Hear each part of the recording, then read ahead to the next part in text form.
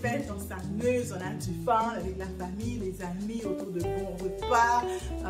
Donc, ce qui arrive, c'est qu'on peut être surchargé ou surnourrir de choses qui sont pas bonnes et des choses qui sont moins bonnes.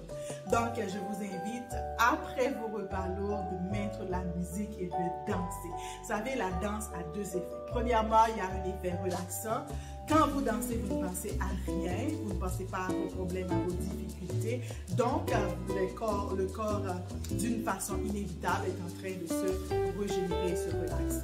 Deuxièmement, ça fait travailler les muscles du corps. Vous savez, quand vous, euh, faites de l'exercice, vous dépensez de l'énergie et en même temps dépenser de l'énergie, ça raffermit les muscles. Donc, je vous invite à aller faire du sport, à aller danser après